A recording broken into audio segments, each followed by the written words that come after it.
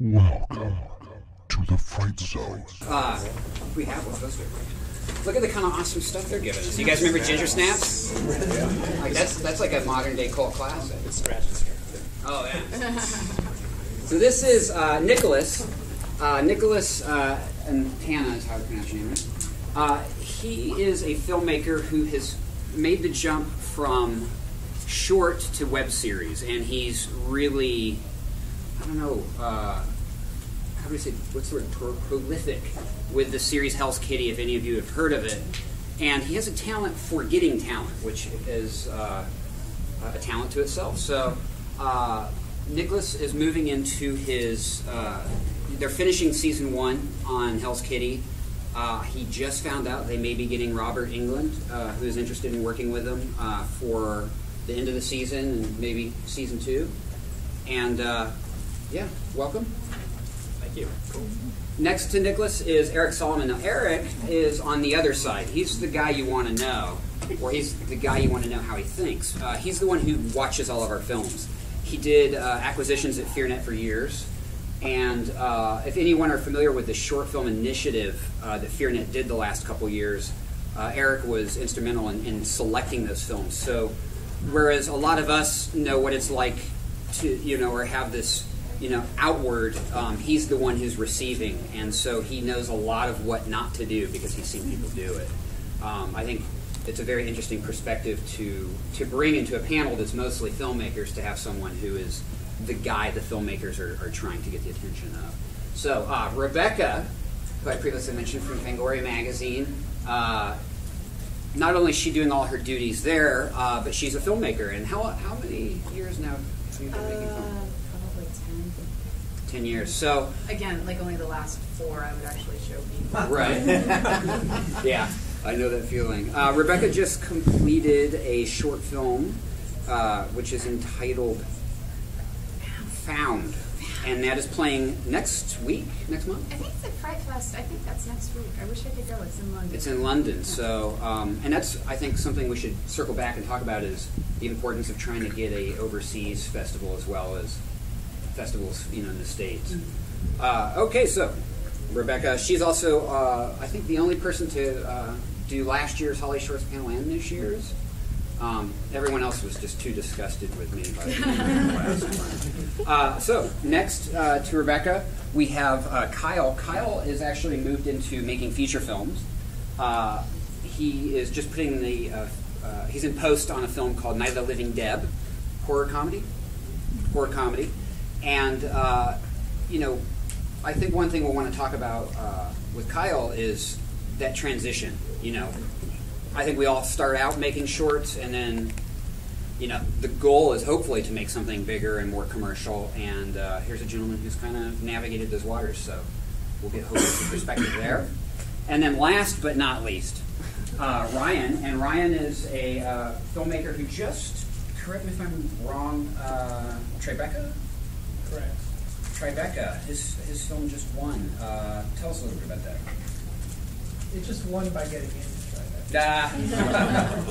Humble, too. Um, yeah, just my last horror short premiered there for the midnight section.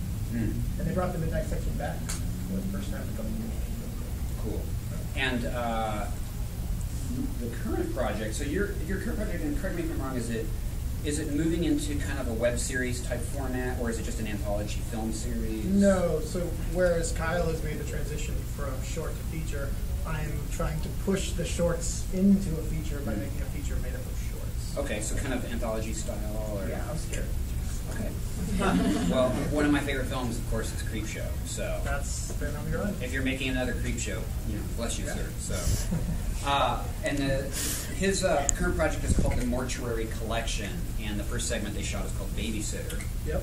and uh, we'll, we'll maybe grab some insights on that as well. So, talk about it. Yeah. Hi, my name is Theo Dumont. I'm the Holly Shorts co-founder and co-festival director. Um, Holly Shorts is one of the biggest short-form content festivals um, in the world now, and it's definitely the biggest one in Los Angeles. And people come from all over the world to show their short films and short movies and meet industry professionals and uh, hopefully get signed and take their careers to the next level. Also network and meet the next generation of storytellers. So uh, it started off as a tiny um, uh, hole in the wall festival at the Space Theater in 2005. And year in, year out, we've had growth on submissions and attendance. And uh, really, the fifth year is when it, it really started to explode. And we had a big premiere at the Egyptian and uh, with the Cinematheque and uh, we've had we've been at every kind of major venue such as Directors Guild of America, Like I said, and uh, now we're our home uh, for this past couple of years has been the uh, Chinese Theater in Hollywood and the Roosevelt Hotel, where we uh, have our film conference. So the film conference, just like earlier today, some really engaging panels and um, discussions with uh, industry pros that have experience and just talking about amazing um, opportunities for filmmakers. That's what that's why we created it. We wanted to create a think tank and a place where people can not only exhibit their works meet people that can help advance their projects to the next level and uh, knowledge sharing. So that's what we're all about. Uh, so we'll start actually with you, Ryan. Uh, I think just so people kind of get to know everybody, uh, what led you to making your first short? Like your very first short? Film school, I think. Um, I think there's like this ongoing debate whether or not film school is something that a filmmaker should do. I think it's dependent on the filmmaker. Some people have an amazing support system and they have their friends and they're making things in high school and they're making things in college. I was just drinking a bunch of beer in college and pretty much doing nothing else. uh, and so film school sort of gave me a place, you know, I didn't get into film school for several years. I kept getting waitlisted again and again and again, and so that sort of made me work in a cubicle and, uh, and find out what I didn't want to do. And Right. then once I was in film school and I had the resources and the comrades uh, and sort of nothing to do but make films, I think that was what I really needed to sort of figure out that this was the path I needed to take. I think the next question for me on you is uh, for uh, uh, the new project. So what led to that? Like what was the catalyst of uh, the new project? Um, I, I made this film called Kirksdale. It was my thesis film in film school, and um, that film did really well for me. And I got an agent, and a manager, and I sort of uh, my plan had been to sort of do the Sam Raimi thing and be on the East Coast and make a movie, and then come here, and that sort of fast tracked all that. So I came here, and you know, within a month, I'd been to like 65 meetings, and I was like at Sony and all these places where I shouldn't be uh, as a new filmmaker, and kind of got swept up in the Hollywood thing. And then I spent. Everybody said that if I didn't have a feature I'd written, that I couldn't make a feature. So then I spent three years just writing, and then I wrote a feature that everyone loved. And again, they said, "Well, you haven't directed it, so you can't. You haven't directed a feature, so you can't direct this feature." And so I, it was sort of this like strange catch twenty two that everybody knows about if you're here, but um, but it's a bummer when you experience it because you think that you're going to be like the one that sort of bypasses it. Right. And uh, I sort of, you know, I wrote this. I was like, I love shorts. I mean, I, I, I genuinely love the short format, like not even as a stepping stone, but as like, I love short stories. I love short films. I love the medium. I think horror in particular lends itself to sort of this short format a lot of times. Uh, and so I was like, I'm going to take all of my favorite shorts and combine them into a feature, just like Creepshow and the movies that sort of inspired me to be a filmmaker in the first place. Uh, I will always make features because I just think it's also a great way to test an idea and see if anyone cares. It's kind of a proof of concept thing. I think it's, it's really smart. It's sort of like it's a, it's great training too, right? Like if you're a, a you know a writer, you don't just start out writing novels. You like write short stories for Right. a while, and you like Yeah. figure out figure it out, and then you Yeah. sort of move on.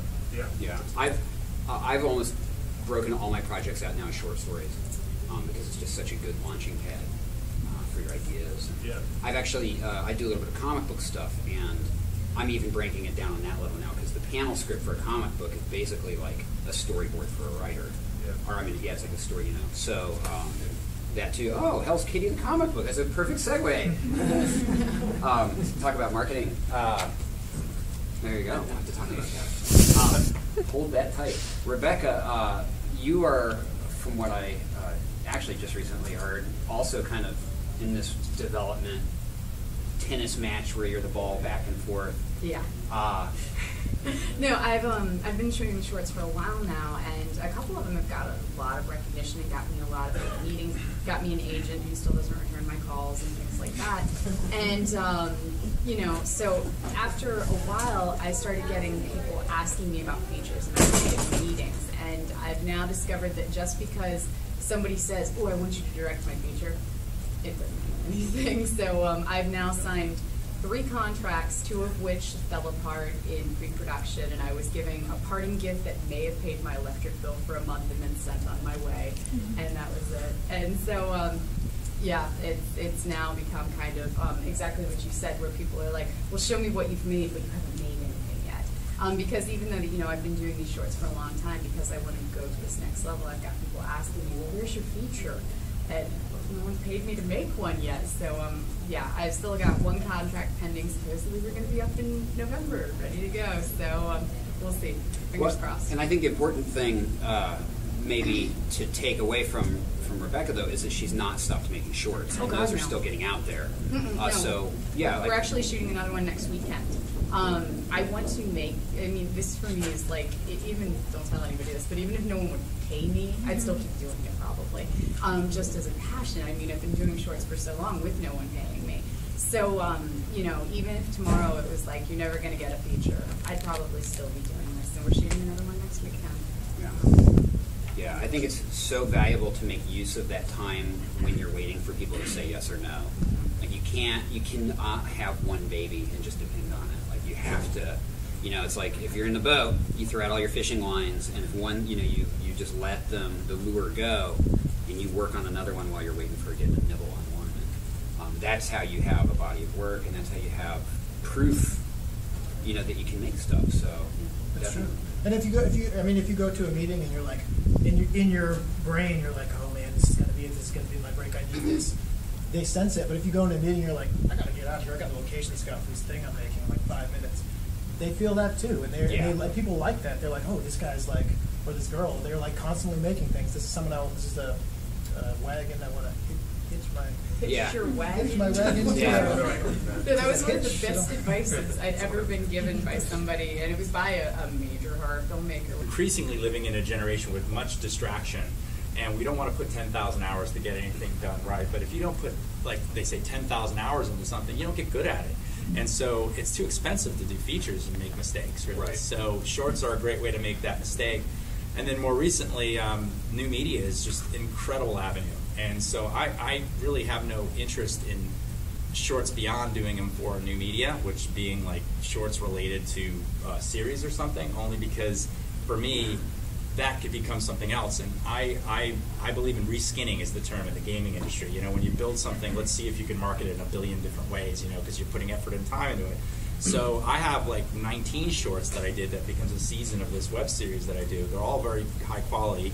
Um, and I'm going to piece them all together and have my feature really soon, in about two months. And it will be the cheapest feature ever made with the amount of stars I have in it, probably in horror history, if we can put this together and make it work. And um, and that's kind of like my angle on it. Reskin it so it's a feature. It's a comic book. Um, it's shorts. It's and bring it out for all your hours of effort. And and I can say there's going to be parts where we recut out scenes and re-edit because we've learned along the journey. I've been Right. doing this for three years, so you get good at something when you do it once a month, and you keep doing it and doing it, and you just get better at it and learning how to do it.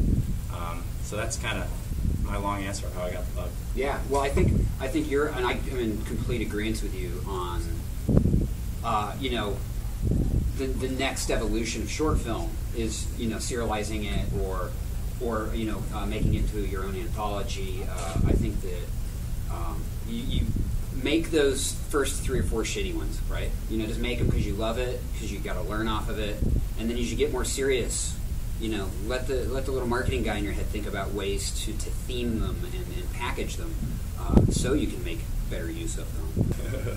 Uh, It's, it is. I mean, when you do, you learn. And the other thing about it is work begets work. Right. You were kind of touching upon that. I mean, I've gotten because of doing this, even though I haven't made any money off this, and that's partly by choice. Uh, we actually donate any money we make off the merchandising to nonprofit partners that help animals. And that way, no one's getting mad. You know, like for now, it's just we're building a brand because I believe the real money right now is if we start selling it as a TV show concept or and things like that. And I just want to build the brand um, so that everyone knows of Hell's Kitty. And it's really worked. We've had major management in town contact us and say, at first we're like kind of begging people to be in the show, but then as we've proven ourselves, now everyone's like, it's the thing. Like, you haven't been in this, you were in this, and I wasn't in this. So now we have all these horror people like calling us saying, I want to be in Hell's Kitty, find a role for me and stuff. And it's, I mean, Robert Englund was the most recent one. So if you guys don't know his name, he was Freddy Krueger. So it's pretty big, you know, to have these guys call and be like, hey, I want to be in Hell's Kitty. So, um, so that's you know that's how it grows. It's like the snowball effect. So that's the other thing is, you know, you may not be making money on the one thing you're doing, but it's a big resume calling card. Yeah. And it's constantly putting your name out there, and you're as relevant as what you're doing in the moment. You know, I mean, there's tons of talent that are doing stuff because they don't have anything they've done recently. They just want to stay relevant. You know, and if you and it's so quick that you can be non-relevant Yeah. in today's world. It's true. I actually uh, really uh, had the benefit of that myself. On my, uh, I have a film playing this weekend, and uh, we got a really good actor for it because of that. Because he wanted to stay relevant. He had, you know, he liked the script. That helps. Um, but he was like, yeah, he's like, you know what? Um, let's do it. And it, I think most smart working actors do work that way. They're like, if I can be on screen, I'm going to be on screen as long as people are not wasting my time. And we used the film that had played at this festival last year to show him, and he's like, oh, it's pretty good. Okay, I'll do it. And we were able to get the kind of talent that uh, two years before I never thought I would have had the ability to get. Um, I think, you know, saying work be, uh, begets work. I mean, that just hits almost the nail on the head for what this panel should be about. My very first short that I ever did um, was god awful. It was awful. Um, way over ambitious. It was a um, rockabilly strip club telling of Hawthorne's Feather Top. If you've ever read that, it's also a musical. Um, and it was 40 minutes long. People didn't respond to it? No, I think Ryan's seen it actually. 'cause, yeah, he came to. I had to do this like mad presentation for my PhD, and I had to show everything I've ever made from start to finish, and so Ryan saw it. Um, but it's awful. It's freaking terrible. But That's the not one. that bad. Um, we're going to see it at the panel next year. it taught me the best lesson I've ever learned, which is if you hire one person and spend a lot of money on him, make it your audio guy. Um, Right. Because we were using on-camera mics. First lesson I learned as a filmmaker is never do that. So, um, but anyways, um, the thing that I did like doing and think that we did well in that short was the gore. And just from that one short, I got a call from um, the band Municipal Waste who asked me to direct some of their gore sequences in one of their upcoming videos. And then from that, I got work with Guar. And then from there, I went to Lamb of God. So, like, straight out the gate, even though that short sucked, just because of the murder set pieces I put in it, it got me work straight out. So, um, it went nicely because of that. And anyone that worked on that with you can use that as a resume too to continue to do that kind of work. Yep. And most of them have stuck with me, like most of my team, which is also nice. If you know people who are making shorts, help them out because then when they make it, Oh, yeah. they'll take you along with them. Because like the DP that I still use, I've been using for three years, and I mean he's now shooting the Flash TV show, but he still comes and helps me because we've been working together for so long. So, you know, you'd be surprised the people you can get to come in for a day, you know, to help you out and do something. But you have to micro break down and know how to produce so you're not asking so much of people, Mhm. especially if it's free. Um, but then it's cool. Then your network's massive. Like the people that worked on Hell's Kitty, like if they even get one person to come to a screening each, we're gonna have an army of Yeah. people, Right, you know. So it's massive the amount of network that you've expanded out your your your sort, you know, your brand. So it's, it works on many levels. And we fold a lot of people in and out of our crews when we're working, but um, yeah, it's and it's nice because then it forms kind of this community amongst filmmakers. So like if one of my friends is shooting something and they'll call me up and be like, I need an audio guy. I'll have six that I know are really top notch that I can give them. And you know, and it's just great to work with people. I mean, you AD'd my last short, so yeah. So yeah. And, and the filmmaking community is small. The horror filmmaking community is much smaller. So that's actually, if you're smart, a very good thing. And if you're not smart, a very bad thing. So, you know, uh, you've got to be really good to people, and you, it is a community. And uh, you know, when you help people out, they help you out. Mhm. Uh, I one of my favorite marketing terms: uh, a rising tide raises all ships. I think that applies to every all the community as well as for creative. I'm going to jump to uh, back to the short and ask. I'm going to come back down. Well, start with Ryan. Two two pieces of, of advice I want to get from everybody for the audience.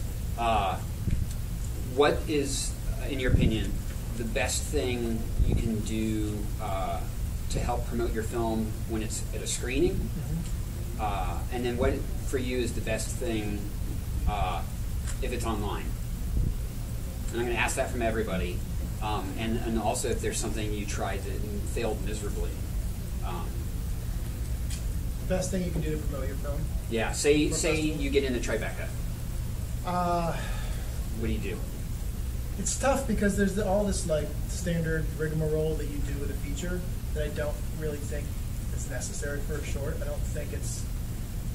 I don't know. I mean, I, I've done I've done posters and uh, websites and flyers, and um, I, I haven't really seen a benefit. The biggest thing that I ever did on my last film was cut a really cool trailer, because you don't want to put the film online because Yeah. because you're playing at major festivals, but at the same time you want people to get a sense and a flavor of what you've done. And I think that um, a really great trailer um, that's like less than a minute long for a short, Yeah. I think is um, absolutely vital. I don't think I would ever do. I think that's without a doubt above and beyond the most Yeah. important thing as far as marketing goes. And, I, and I've actually been to festival. I mean, at Tribeca this year, I had posters and stuff, and they wouldn't even let me hang. Right. Like there wasn't even a place to hang posters, so I just had this tube, and I was walking around with the tube like a nerd. And I've got a backpack with a computer, and it just Yeah. Like- Everyone liked like that. though. yeah, yeah. I mean, to, to be honest, I would say if you have a short year at a festival, the thing to do is not to worry so much about marketing. This is just my opinion, but it's more just meeting, Communicating, to meet hanging out. other Yeah, I agree. filmmakers. I agree. I- That's totally. Yeah. Because I'll- you're talking, sorry, Yeah. but you're talking about, um, just what you guys are talking about, having a network, like, for you guys who are in film school, it's amazing in film school because you have this whole crew that you can pick from, but once you get out of film school, that crew diminishes significantly. Every year, people get more and more jobs, and you can't, like, the, what's weird about filmmaking is, is you can't do it alone. Uh, I think too, uh, next year, instead of having a discussion, we should all bring our crappy short films. and, and we'll have like a little mini viewing for all of you. And, yeah.